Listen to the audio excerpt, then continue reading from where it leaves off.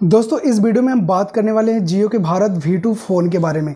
जियो के Bharat V2 phone में क्या क्या चलेगा, ये सबके मन में डाउट चल रहा है, सवाल चल रहा है। तो इस वीडियो में हम जानेंगे क्या इसमें व्हाट्सएप चलेगा, या फेसबुक चलेगा, या इसमें यूट्यूब चलेगा कि नहीं चलेगा। मेन इंपॉर्टेंट बात कि नौ सौ निन्यानवे रुपये में ही इस फ़ोन को सेल किया जा रहा है जियो के भारत वी फ़ोन, जो कि एक फोर फ़ोन है। और इसमें एक ही सिम कार्ड लगेगा वो ही सिम कार्ड है, जियो का सिम कार्ड केवल जियो का सिम कार्ड लगेगा और एक मेमोरी कार्ड का सपोर्टर है, जिसमें एक सौ तक आप मेमोरी कार्ड लगा सकते हैं। लेकिन बात आती है इसकी बैटरी का तो इसमें मात्र एक हज़ार की बैटरी दे रखी है। लेकिन इसमें सवाल आता है कि क्या क्या चलेगा। लोगों को ये सवाल है कि क्या क्या चलेगा ताकि तभी वो खरीद पाएँगे।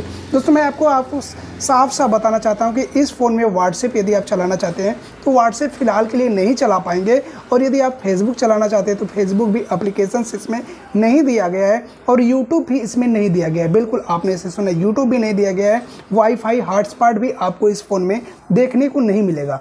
जो चीज़ देखने को मिलेगा वो है आपका यूपीआई यानी आपको एक यूपीआई दिया जाएगा जिसकी मदद से आप मतलब पैसा पे कर सकते हैं लेन देन कर सकते हैं। और इसमें जियो सावन और जियो सावन के साथ साथ जियो सिनेमा का आपको सब्सक्रिप्शन दिया जाता है। बस इतना ही आपको इस फ़ोन में दिया जाएगा और हो सकता है भविष्य में अपडेट हो तो इसमें व्हाट्सएप आए, लेकिन मुझे अभी तक उम्मीद नहीं है कि इसमें व्हाट्सएप आएगा या नहीं आएगा, लेकिन फ़िलहाल के लिए WhatsApp Facebook Instagram YouTube main चीज़ यूट्यूब जो होता है, लोग गाना सुनते नहीं हैं। एक आपका इंटरनेट का व्यवस्था दिया गया है, जिसमें जाकर आप सर्च कर कर कुछ देख सकते हैं, लेकिन मुझे उम्मीद नहीं है कि उसमें जाकर आपको एक कंफर्टेबल महसूस होगा, ऐसी कोई बात नहीं है।